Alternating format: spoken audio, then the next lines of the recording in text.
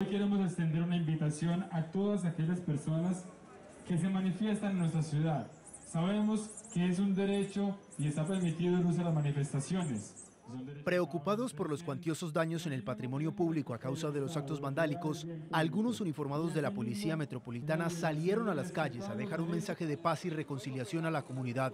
La idea es decirle no a la violencia. La Policía Nacional se encuentra realizando una campaña que se llama Manifestación Pacífica.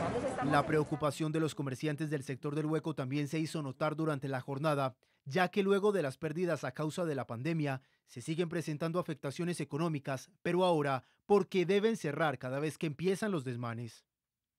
Actividades como esta se llevarán a cabo en diferentes lugares del Valle de Aburrá.